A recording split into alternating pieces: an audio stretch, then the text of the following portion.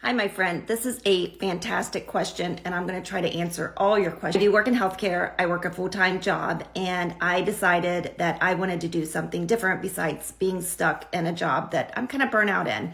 So, in October of 2022, I became really serious about building a business online as a freelance digital marketer. So, what is that? I promote digital products and I focus on high ticket products, and I earn a commission each sale I make or each time someone opts in and purchases. And basically, that company is giving me a high five and paying me out that commission because I'm bringing in a lead to them. Now, the reason why I haven't quit my job yet is because, like I said, I started in October and it does take time to build up enough money to eventually quit your job. But I do have goals prior to quitting my job. One, I want to help my mom out. I want to pay it forward to help my mom out financially. Two, I want to pay off my mortgage. And three, um, right now, I'm only making one high ticket sale a month.